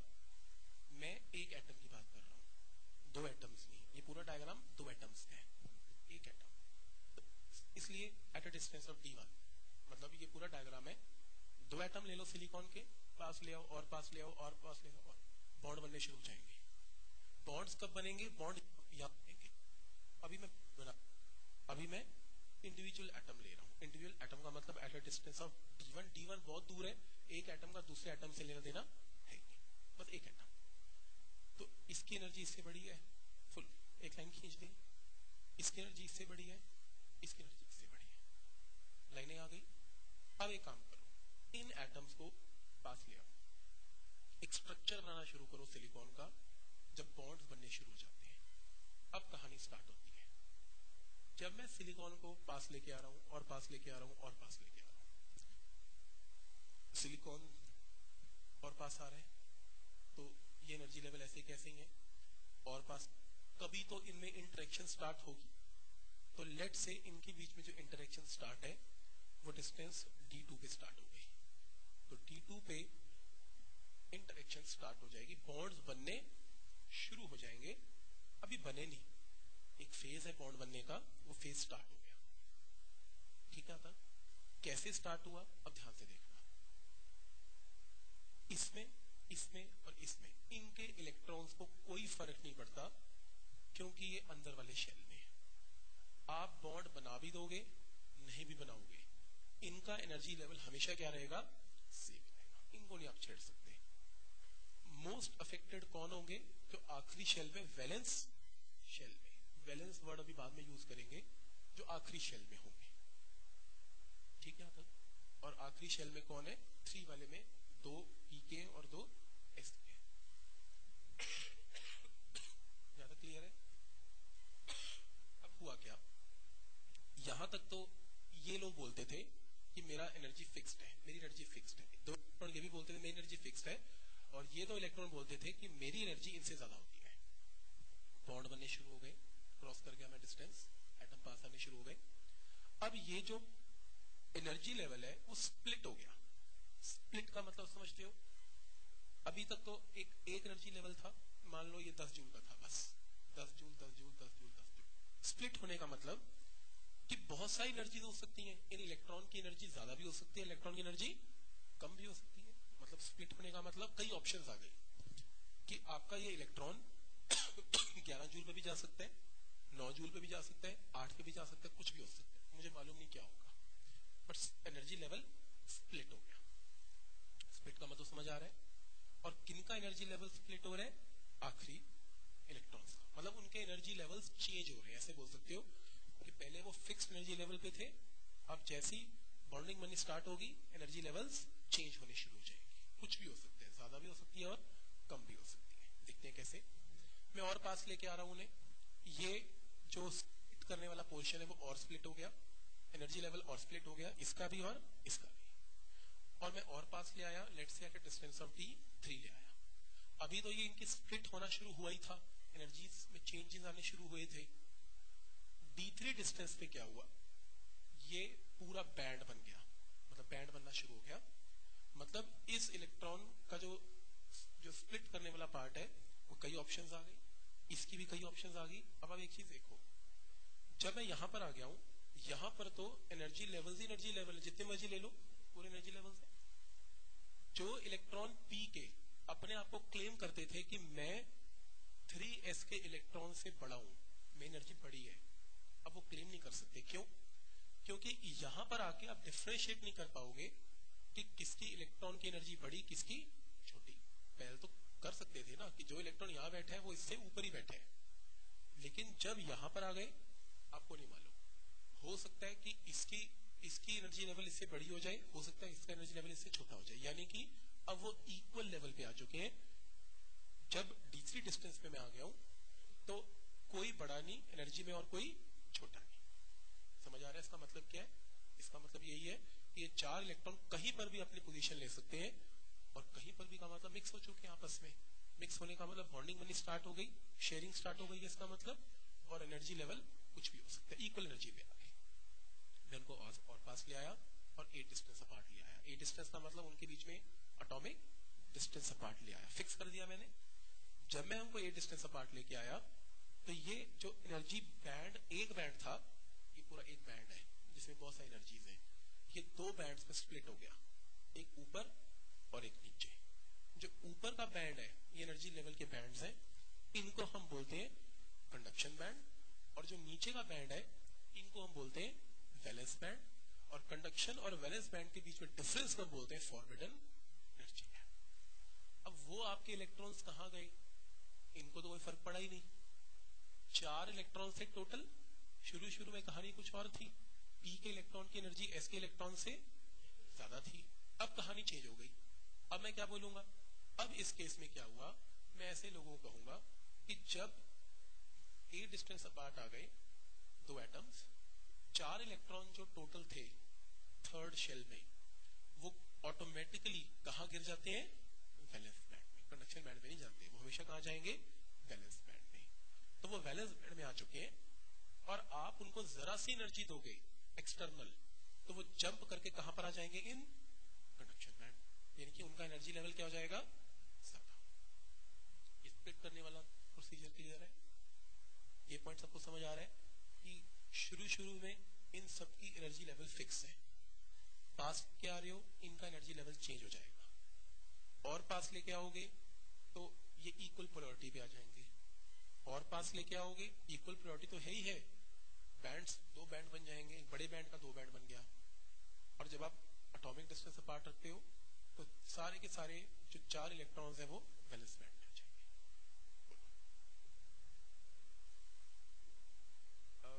ऐसे होंगे। बैंड में इलेक्ट्रॉन्स ऐसे होंगे। आप इमेजिन करो कि यहाँ पर लेवल्स है ना, ये एनर्जी लेवल ये एनर्जी लेवल ये एनर्जी लेवल तो जैसे चार इलेक्ट्रॉन्स हैं या तो वो यहाँ जाएँगे, कहीं भी, कोई भी एनर्जी लेवल कहीं भी हो जाए हाँ बराबर है। कह नहीं सकता कुछ भी। मुझे मालूम नहीं क्या होगा। मतलब मैं ये कहना चाहता हूँ कि पहले इसका एनर्जी लेवल बड़ा था ना, इसका, अब गिर के नीचे आ जाएगा। खत्म। कंडक्शन बैंड में कुछ नहीं होगा। ऐसा होता है। आपने सुना होगा कंडक्शन बैंड में जाने का मतलब समझते हो क्या होता है? थोड़ा और सिंपल, जिसको केमिस्ट्री नहीं आती, उसको क्या समझाओगे? मैं बताता हूँ। आप सब सिलिकॉन के एटम हो। आप सीटों पे बैठे हो। बॉन्ड बने हुए हैं सबके। अगर मैंने आपको यहाँ से एनर्जी देके उठा दिया, खड़ा कर दिया, आपके पास इन सबसे ज़्यादा एनर्जी है। तभी आप खड़े हुए हो, आप कंडक्शन बैंड के अंदर हो। अगर मैंने आपको और एनर्जी दी, आप चलना शुरू कर दोगे। चलना शुरू कर दोगे इलेक्ट्रिसिटी कंडक्ट होनी शुरू हो जाएगी। आप बैठे हो, आप वैलेंस बैंड के अंदर बैठे हो। बैठने का मतलब वैलेंस बैंड सबकी एनर्जी लेवल कम है। और अगर मैंने आपका बॉन्ड तोड़ दिया, आपको फ्री इलेक्ट्रॉन बना दिया फ्री इलेक्ट्रॉन हमेशा किस बैंड में होता है? कंडक्शन बैंड में होता है। उसको और एनर्जी दी तो वो चलना शुरू कर देगा। तभी कहते हैं इलेक्ट्रिसिटी तब कंडक्ट होती है जब आपका इलेक्ट्रॉन किस बैंड में होता है? कंडक्शन बैंड में। बैलेंस बैंड में मूवमेंट का कुछ नहीं होता। ठीक? बैलेंस बैंड जो है, उसमें अगर इलेक्ट्रॉन मूव भी कर जाए, कोई फ़र्क नहीं पड़ता। मूव कैसे कर जाए? जैसे इसने यहाँ, ये यहाँ बैठ गया, ये यहाँ बैठ गया। नेट डिस्प्लेसमेंट तो ज़ीरो ही है ना? मुझे तो चाहिए कि आप सब सीटों से खड़े होकर बॉन्ड तोड़ दो और बस मूव करना शुरू कर। दो समझ आ रहा है यहाँ तक? आइडिया क्लियर है? तो मैं पूरा चैप्टर आप सबको एटम बना के समझाऊँगा, नहीं तुमको बिल्कुल समझ नहीं आएगा। ठीक? मतलब बहुत इंटरेस्टिंग तरीके से ही इसको करेंगे, तभी आपको चीज़ दिमाग में जाएगी। और कोई कंफ्यूजन है तो पूछो। क्या सभी एटम का सेम डायग्राम होता है? क्या सभी एटम की कहानी सेम है? बेसिक बेसिक तो सेम है, लेकिन वैलेंस इलेक्ट्रॉन के बारे में कह नहीं सकते। कैसे? मान लो एक बहुत गुड कंडक्टर है, बहुत ही गुड कंडक्टर है। मतलब समझो कि जब वो नेचर ने उसको बनाया, उसमें ऑलरेडी फ्री इलेक्ट्रॉन था। ऐसे भी होते हैं फ्री इलेक्ट्रॉन ऑलरेडी है। तो यानी कि उनके जो ये आखिरी शेल के इलेक्ट्रॉन्स है ना वो वैलेंस बैंड में तो है ही है। साथ में एक आधा इलेक्ट्रॉन कहा पड़ा हुआ है इन? कंडक्शन बैंड ऐसा हो सकता है। पहले ही बहुत गुड कंडक्टर है अगर। बहुत ही गुड एक्सेप्शनली गुड यानी कि ये अपनी सीट पे बैठा ही नहीं। ये अपनी सीट पे खड़ा है। ये ऐसी खड़ा है। इसको तो जरा सी एनर्जी मिली नहीं। इसे भागना शुरू कर देना है। कंडक्शन बैंड में ऑलरेडी बड़ा हुआ है। बात समझ में आ रही है? तो ऐसे केस में, अगर ये कंडक्शन बैंड में ऑलरेडी खड़ा है तो फिर बाकी लोग भी तो सेम कैटेगरी के ही हैं, देखा जाए तो। पर वो सीटों पे बैठे हैं। हम बोलते हैं ऐसे केस में जो forbidden energy forbidden energy gap है, वो होता ही नहीं। तो बेसिकली ये सारा कुछ डिपेंड करता है इस गैप पे। हर कोई चाहता है एनर्जी लेके, हर कोई इलेक्ट्रॉन चाहेगा, मैं एनर्जी लेके फटाफट यहाँ चला जाऊँ। भागना शुरू कर दो इलेक्ट्रिसिटी कंडक्ट करो। प्रॉब्लम ये है नेचर है। कुछ एलिमेंट्स ऐसे हैं जिसमें ये फॉरवर्डन एनर्जी गैप बहुत छोटा होता है, बहुत ही छोटा। आप या फिर होता ही नहीं। आप जरा सी एनर्जी दोगे, फटाफट वो एनर्जी लेके यहाँ भाग जाएँगे। बॉन्ड तोड़ दिया और भागना शुरू कर देंगे। They are known as good conductors वो अच्छे कंडक्टर्स है। इंसुलेटर क्या है? इंसुलेटर है। आपके इलेक्ट्रॉन यहाँ बैठे आप लगा लो, जितना मर्ज़ी ज़ोर लगा लो। दे लो एनर्जी जो देनी है। जितना मर्ज़ी पोटेंशियल दे दो। आपका जो फॉरबिडन एनर्जी गैप है, वो जंप ही नहीं हो पाएगा। वो कंडक्शन बैंड में कभी आ ही नहीं पाएँगे। तो उस केस में क्या होगा? They are known as a insulator jump ही नहीं कर पाते। बीच में रह जाएँगे। फॉरबिडन एनर्जी गैप में भी चले गए। तो भी बॉन्ड नहीं टूटा। उनके बॉन्ड तोड़े नहीं जा सकते। तो उस केस में they are known as insulator कुछ एलिमेंट ऐसे हैं जिनका ये एनर्जी गैप ना ज़्यादा है ना कम है। ठीक ठीक है। धूप में रखोगे इलेक्ट्रॉन एनर्जी लेके जम कर जाएँगे। अंदर रख दोगे, नीचे गिर जाएँगे। They are known as semiconductors और हम इन एलिमेंट्स को स्टडी करने जा रहे हैं सेमी कंडक्टर्स और ये diagram conduction band valence band ये सिर्फ़ इमेजिनरी है। ये सिर्फ़ हमारी इमेजिनेशन है कि एनर्जी किसी की ज़्यादा हो गई एनर्जी कम हो गई। तो ये यूज़ होती रहेगी इस चैप्टर में। और मैं इसको रेफर करता रहूँगा बार बार। तीन चीज़ें आपने याद रखनी है कि सबसे पहले सारे इलेक्ट्रॉन वैलेंस बैंड में होते हैं, क्योंकि हम सेमी कंडक्टर की बात कर रहे हैं, हम कंडक्टर की बात ही नहीं करते। बैलेंस बैंड में होते हैं। एनर्जी लेके आपके इलेक्ट्रॉन कंडक्शन बैंड में जाते हैं। और बीच में जो गैप है, वो फॉरबिडन एनर्जी गैप है। ज़्यादा क्लियर है?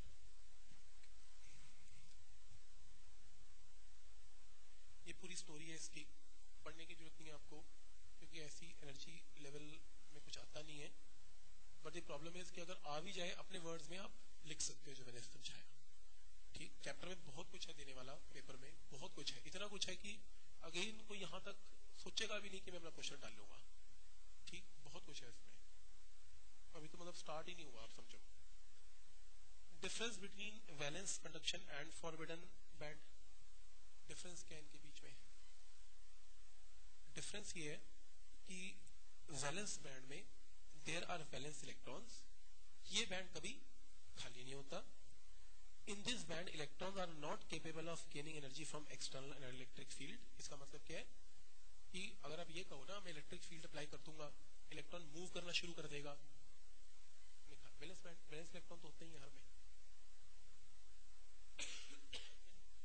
कंडक्शन बैंड में गया नहीं गया बात की बात है हम सिर्फ़ किस बैंड की बात कर रहे हैं तो वैलेंस इलेक्ट्रॉन तो होते ही है अगर आप ये सोच रहे हो कि मैं ऐसा करता हूँ वैलेंस बैंड के अंदर ना इलेक्ट्रिक फ़ील्ड करता हूँ वैलेंस बैंड में इलेक्ट्रॉन मूव करेंगे। और अगर वैलेंस बैंड में इलेक्ट्रॉन मूव करेंगे इलेक्ट्रिसिटी कंडक्ट होगी तो गलत है। पहले आपको बॉन्ड तोड़ने ही पड़ेंगे इलेक्ट्रॉन को फ्री इलेक्ट्रॉन्स बनाना ही पड़ेगा। और जैसे ही वो फ्री इलेक्ट्रॉन बने, समझो किस बैंड में चले गए? कंडक्शन बैंड इसका मतलब वैलेंस बैंड में इलेक्ट्रिसिटी कंडक्ट नहीं होती। ठीक है, यहाँ तक? तो therefore electron in this band are not contribute to the electric current को कंट्रीब्यूट नहीं करेंगे। नेक्स्ट है conduction energy band electrons are rarely present come present होते हैं कंडक्शन में। दिस इज़ आइदर एम्प्टी और पार्शली फिल्ड विद इलेक्ट्रॉन हो सकता है एक दो इलेक्ट्रॉन चले भी जाए, लेकिन बहुत एक्सेप्शनल केस में वेरी गुड कंडक्टर्स के केस में। हाँ in this band electrons can gain energy from external electric field देखो कैसे। मैंने आप सब बैलेंस बैंड में बैठे हुए थे।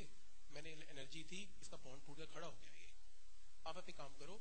इलेक्ट्रिक फ़ील्ड अप्लाई करो, वहाँ पॉजिटिव चार्ज लगाओ, यहाँ नेगेटिव लगाओ, देखो भाग के पॉजिटिव जो पॉजिटिव की तरफ़ चला जाएगा। इसका मतलब ये फ्री है ना? ये मूव कर सकता है तो this electron will contribute in electric current ठीक है यहाँ तक? एंड और लास्ट है forward energy gap electrons are not found in this band this band is completely empty या तो वैलेंस में रहेगा, या फिर कंडक्शन में आ जाएगा। बीच की कोई स्टेट नहीं होती। या तो बॉन्ड बना हुआ है या बॉन्ड टूट गया। बैंड होता है। बैंड का इमेज बैंड कुछ भी नहीं है। अब देखो, इस इलेक्ट्रॉन को जंप करके यहाँ आना ये कंडक्शन बैंड है, ये वैलेंस बैंड है। अपनी एनर्जी को बढ़ाना है ना? अपनी एनर्जी को बढ़ाना है। तो बीच में बहुत सारी एनर्जी लेवल्स हैं। दस जूल ग्यारह जूल बारह जूल तेरह जूल चौदह जूल पंद्रह, सोलह, सतारह। इमेजिनेशन है तो। अब आपने बैंड बोलना है तो बैंड बोल लो। है तो ये एरिया जिसको जंप करना है इससे जंप कर गया तो बॉन्ड टूट गया। नहीं जंप कर गया वो यहाँ पे बैठ जाएगा। ये नहीं हो सकता कि यहाँ के खड़ जाए फॉरवर्डर में और कहे, देखो, मेरा बॉन्ड भी टूट गया और मैं मूव नहीं कर पा रहा। या तो बॉन्ड टूटेगा या बॉन्ड नहीं टूटेगा थ्रेशोल्ड का कॉन्सेप्ट तो आ जाता है ना फिर बॉन्ड तोड़ने के लिए। ठीक है यहाँ तक? सो डिस्टिंक्शन बिटवीन कंडक्ट किसी क्लास तो नहीं आगे? कितने बजे? बस एक मिनट लूँगा distinction between conductors, semiconductors and insulator on the basis of energy band. So, नहीं यार इसको नेक्स्ट टाइम करेंगे लंबी कहानी है ये फर्मी फर्मी लेवल पे है फर्मी लेवल सुना हुआ है सबने फर्मी लेवल ठीक है कोई बात